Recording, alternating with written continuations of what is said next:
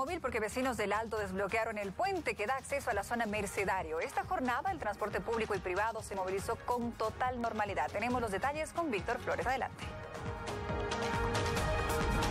Gracias, buenas tardes a todo el país. En este momento nos encontramos en la zona Mercedario de la ciudad del Alto. El equipo de Unitel se ha desplazado hasta este punto para mostrarles cuál es la situación en esta zona y en este distrito de los 14 que cuenta el municipio alteño. Ustedes pueden ver en pantallas el puente de la zona Mercedario. ¿Por qué hemos trasladado este lugar?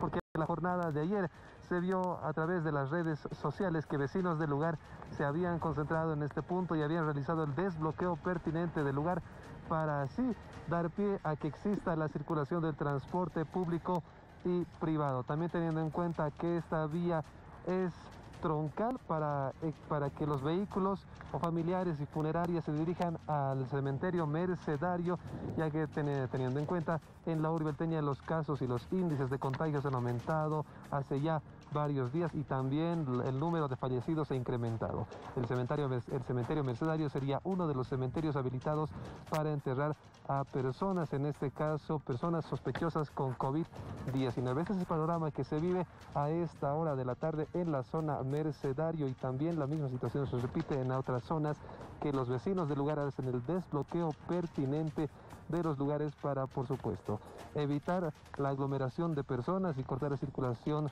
de vehículos del transporte público privado. Se está tratando de realizar este trabajo para que exista esta circulación ah, fluida de vehículos que se transportan y se dirigen a diferentes distritos de la urbe alteña.